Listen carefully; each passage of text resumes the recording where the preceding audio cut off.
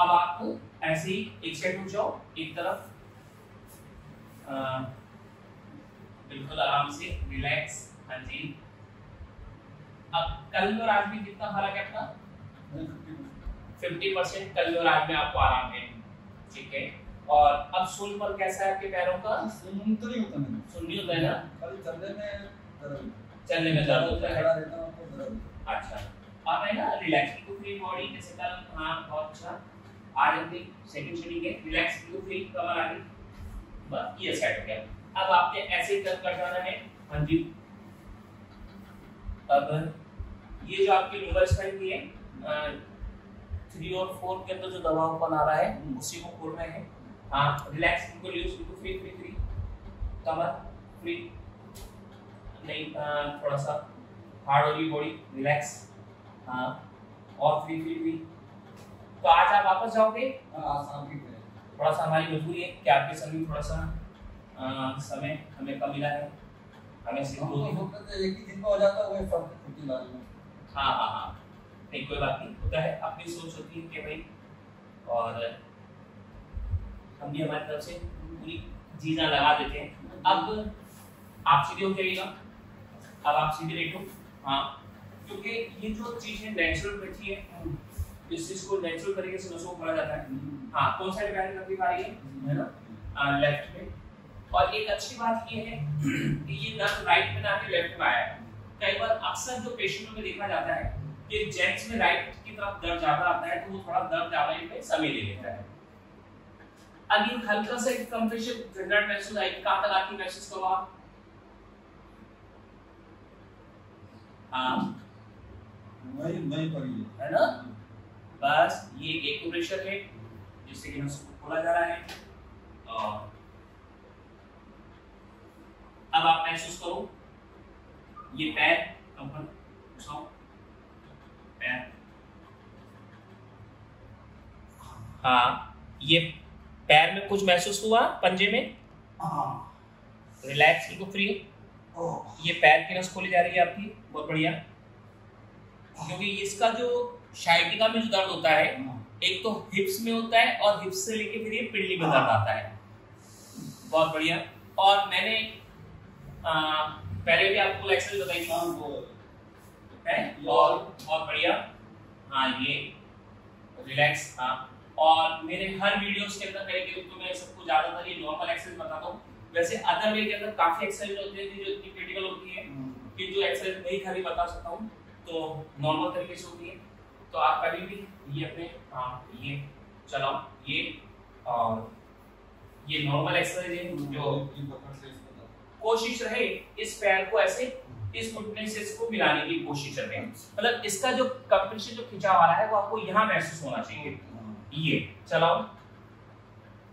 मतलब ये बिल्कुल नॉर्मल एक्सरसाइज है। इसको आप भी, जैसे किसी के भी, भगवान ना करे, किसी परिचित प्रॉब्लम हो, आप बता भी, निश्चित होकर बता सकते हैं, कोई साइड में कोई नुकसान नहीं है। मतलब नॉर्मल तरीके से होता है, भूखे पेट करनी होती है एक्सरसाइज खाना खाने से, पहले दस दफाई और दस दफाई चलाओ, ऐसे। अब इस पैर को सीधा कर लीजिएगा। फिर उस वाले से उस पैर को पकड़ के इस तरीके से ये। वैसे एक्सरसाइजें बहुत होती है, लेकिन हर एक्सरसाइज भी बताना पॉसिबल नहीं हो पाता है। हाँ। हाँ जी। क्योंकि हर इलाज करने वाले की कोशिश होती है कि मरीज़ को ठीक करना। हर इंसान जो भी इलाज करता है, वो अपनी चीजा लगा देता है। क्योंकि क्या होता है कि हर एक पेशेंट उसके लिए वो होता है चैलेंज हर कोई अपनी हाँ बस। हम भी हमारी चीज़ें लगाते थे वैसे हमें पता होता है कि सामने वाला जो होता है वो अपनी पूरी कोशिश करता है एक ही एक्सरसाइज करनी है ठीक है? बस ये जो एक्सरसाइज आपने करनी है। नसों की सेटिंग है और जो अपन सेट किया है अब आप सेट किया है। अब आप थोड़ा बैठे हैं। कभी भी आपने पोजीशन आराम से नॉर्मल तरीके से। मेन अक्सर हम गलती करते हैं कि उठने का तरीका गलत हो जाता है। कभी भी आप बैठते हैं ऐसे करवट लेके बैठे हल्का सा अब आप ऐसे बैठो वेरी गुड तो एक्सरसाइज सेट करके करूँ कि ऐसे ही करूँ? हाँ एक्सरसाइज तो आप भूखे पेट ही कर सकते हैं। मैंने गर्म पानी की थैली सेट करके करनी है कर सकते हो। नॉर्मल ही करता हूँ नॉर्मल ही कर लो कोई दिक्कत नहीं। हाँ। मतलब वो गर्म पानी का सेक नहीं करना हमने हाँ। हाँ जी आपका नाम क्या अंकल? रमेश चंद्र बनुदा अच्छा कहाँ से रहने वाले हो आप? दाहोद गुजरात। गुजरात से आए हो। कैसा लगा अब यहाँ पे? कितनी सीटिंग हो गई आपकी? फिफ्टी परसेंट से ज़्यादा फिफ्टी और आए कब थे यहाँ पे? कल आया कल आए थे आप और कल आठ तारीख को आए थे आप। और आज आठ को आए थे और नौ को आप वापस जा रहे हो। फिफ्टी परसेंट अपने को आराम मिल गया। है और बाकी कैसा लगा यहाँ पे? अच्छा। कोई परेशानी है अजमेर शहर में? कहीं कोई दिक्कत नहीं है? और ये आपकी नस दब रही थी? ये आपका एम आर आई? यहाँ से इनकी नस दब रही है। और अब एक नेक्स्ट ओपिनियन अपना दस पंद्रह दिन के अंदर हाँ। अब जो अपन ने इसकी जो अभी आप इसमें नसों की जो स्टडी करी है उसका नेक्स्ट ओपिनियन अपना ये रहेगा कि अब ये एमआरआई आपको लिख के दे रहा हूँ। जब आप आते हो तो इसमें कितना इम्प्रूवमेंट अच्छा। आया है तो इस इम्प्रूवमेंट को देखने के लिए आपको जब भी आप गुजरात से आते हो एक एमआरआई करवा के आ जाना नहीं तो अजमेर में भी एमआरआई हो जाती है कोई इशू नहीं है। एक एमआरआई क्योंकि अभी जो आपकी इस पोजीशन थी वो कितनी सुधार आई डिफरेंस आया? हाँ डिफरेंस कितना आया है वो उसे अपन देखेंगे। उसी के अपन अब आगे फिर कहेंगे कि आप तो वज़न उठा सकते हैं नहीं उठा सकते हैं। अपन ने भी आपको इतनी नसों खोल दिया है कि अब आज मैं डिसीज़न दे सकते हैं कि अपन नेक्स्ट एमआरआई करवा सकते हैं। कि करवानी या क्या है तो जैसा आप वापस से पंद्रह जब भी आपका अजमेर आना होता है फिर अपन एमआरआई करवाएँगे। चाहो तो गुजरात से भी करवा सकते हैं मैं लिख के दूँगा ऑल इंडिया में कहीं से भी आप एमआरआई करवा सकते हैं। ऐसा नहीं कि हमारे अजमेर का कोई नहीं है ना कहीं भी करवा देगा रेडी है? अब एक तरह में आपकी ब्लेसिंग है और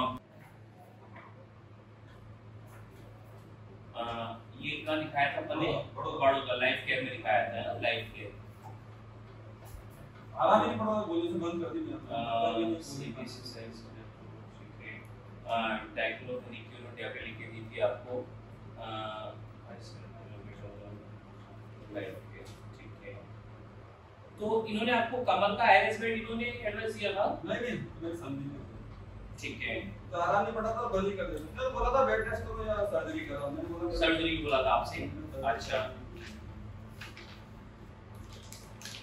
ठीक है बाकी तो सब सेम ही अपना नाम है रमेश चंद जी ये आपके सारी फ़ाइल और डॉक्यूमेंट से संभाल के रखना ये लीजिएगा ये ये संभाल के रखिएगा और हमने जो आपको मेडिसिन दी थी की है बस हो ओके है शुक्र और मालिक ने चाहा तो आप बिल्कुल ओके रेडी है और वज़न काम बस मत करना चाहिए ना वज़न है ना वज़न उठाना अब अपने को सर्जरी की बिल्कुल भूल जाओ सर्जरी की नहीं है तो आप जल्दी पहुँचे वो रिपोर्ट छुट्टी है। काट देखी मैंने रिपोर्ट का आपके टाइम करा क्या हुआ हाँ। मैं एक एमआरआई आपको लिख के दे रहा हूँ। तो वो जो एमआरआई है आप नेक्स्ट आते समय एमआरआई आपके कहीं भी ऑल इंडिया में कहीं भी किसी भी शहर में कहीं से करवा सकते हैं।